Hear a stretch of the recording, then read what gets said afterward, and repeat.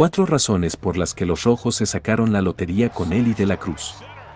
El joven dominicano Eli de la Cruz no solo llegó a poner su nombre en los libros de historia de la MLB, también cambió por completo la cara de los rojos de Cincinnati desde que recibió el llamado a las mayores. Desde que puso un pie en los campos de MLB, el novato dominicano de los rojos de Cincinnati Eli de la Cruz no ha dejado de maravillar. El joven no se cansa de asombrar a todos en las grandes ligas con su velocidad y sus demostraciones de poder, pero más allá de su rendimiento individual está el impacto que ha tenido para el equipo. En Cincinnati se sacaron la lotería con el quisqueyano de la Cruz y varias razones lo confirman.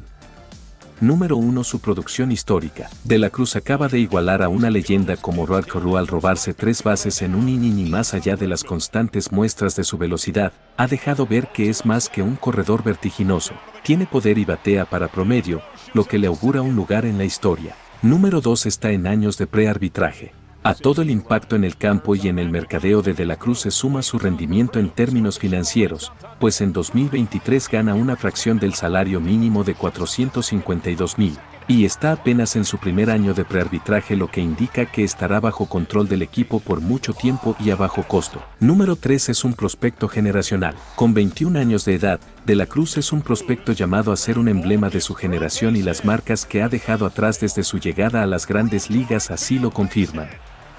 En Cincinnati esperan verlo convertido en el jugador franquicia sobre quien se construya un equipo ganador. Número 4. Todavía puede mejorar.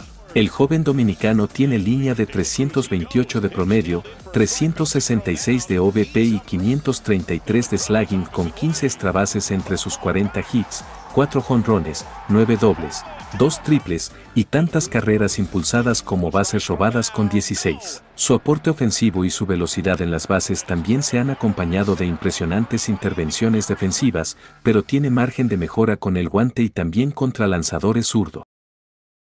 Hasta aquí el video, si te gustó deja tu like, compártelo y no olvides suscribirte.